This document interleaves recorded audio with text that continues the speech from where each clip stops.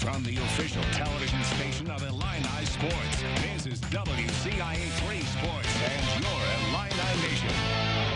Three former Illini made the cut to move on to round three of the Lincoln Land Championship, including Brian Campbell, who shot under five after two rounds. After turning pro in 2015, Campbell made the PGA Tour for the 2016-2017 season, but has been back on the Korn Ferry Tour since.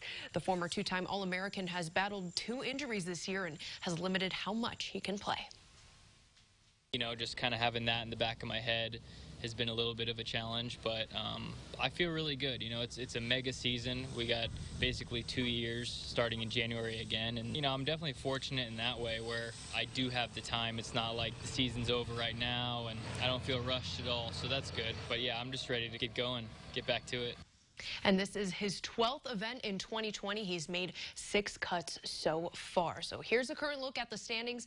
Campbell moves up a few spots at eight under par. He's just one stroke behind Nick Hardy, who leads the group of Illini after a major improvement from yesterday. All-American Scott Langley also makes the cut for tomorrow. They're chasing Charlie Saxon, who's maintained his lead after three rounds in Springfield. And former